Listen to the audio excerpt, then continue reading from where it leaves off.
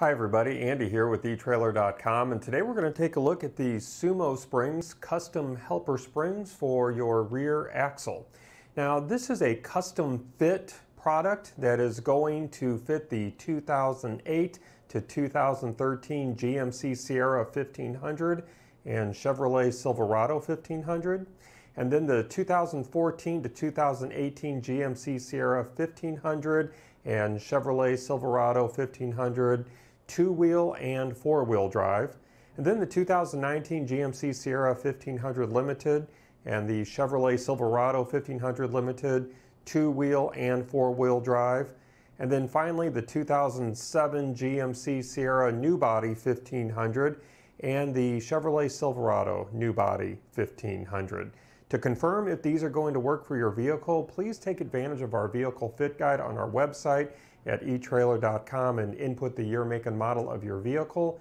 And our fit guide will let you know if these will fit your vehicle. Now, SumoSpring helper springs are great for pickup trucks. Towing or hauling a he heavy load can cause sag as your factory suspension compresses under the weight of the load. And that means that the rear axle is trying to support not only the extra load, but also your truck's weight.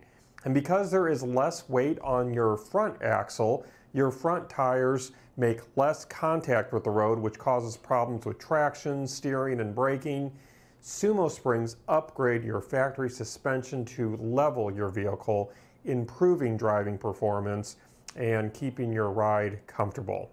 The innovative innovative two-piece design of these springs allow for unlimited suspension travel. This means that there will be more movement in your suspension when you are unloaded or, or off-roading, which is going to make your ride smoother and more comfortable.